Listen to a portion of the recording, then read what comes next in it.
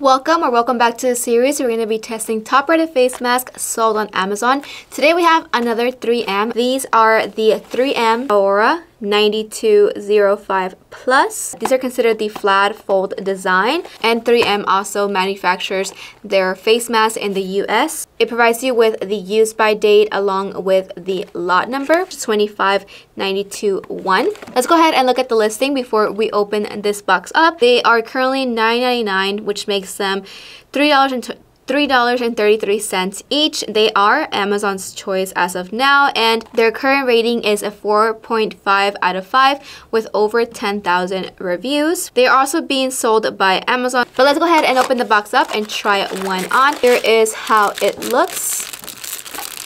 So on the mask itself, it provides you with all of the requirements, which is the manufacturer along with the NIOSH N95 stamps and the TC approval number, the model information. And then on the back comes with their warning, their lot number. So the lot number on the mask and on the box are not the same. Let's go ahead and see why they aren't. There should be a reason why the lot number on the respirator and on the mask are not the same, but I'm trying to look for it and I can't find anything as of right now. But if I do, I'm going to make sure to leave that information in the description box down below. So let's go ahead and continue checking the mask out. These straps personally scare me just because I know that if they break, they're definitely going to hurt. Also being held by staples. The straps are pretty good stapled in there. I don't think they're going to come out. Let's see the material from the inside. It does have a nose foam and the nose foam is like from side to side. The nose wire is a pretty decent no nose wire. I've had some issues with other 3Ms that we've reviewed before when it comes to the nose wire and the inside is extremely soft. Let's go ahead and try it on and see how it fits on my face.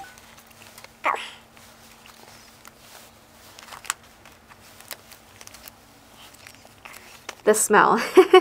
There's definitely a very, very strong, it might be coming from the glue because this, this specific smell was not on the other, the other 3Ms that I've reviewed. But this is how it looks on my face.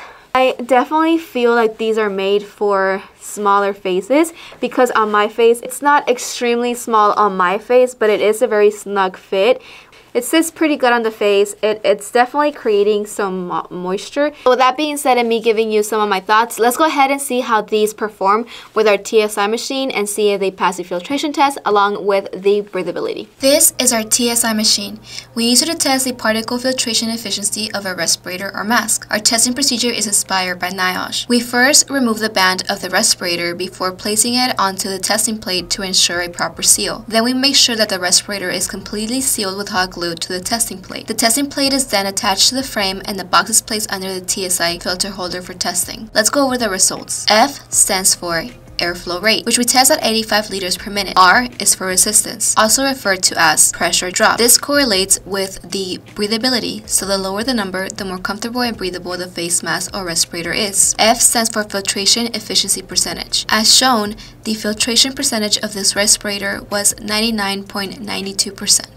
We are back now and as you guys saw from the test, it did pass the filtration test. We only decided to test out one because I did try this one on and then we, we left one of them for backup so we only had one left to test. So that's the one that we got the results from. But it did test with a 99.92 filtration efficiency and the breathability is also pretty pretty low so they are very breathable. When it comes to my experience, the comfort was pretty good. It did sit on my face very well. It wasn't super snug but it was still but it still had a good tightness to it. Would recommend this for people that have smaller faces. It was a really comfortable face mask to wear, but the smell was definitely very pungent. And the construction quality of this face mask is really good. They use very good materials for it. Like I said, these straps scare me a little bit, but they're not gonna come off. I hope you guys found this video helpful. Please note that this is my experience and my opinions when it comes to this face mask. Everyone is gonna have a different experience. So in no way are we trying to bash or talk down about any manufacturer. We're just here to provide you guys with our opinions and also accurate information from our TSI machine. Please don't forget to give us a thumbs up, subscribe to our channel,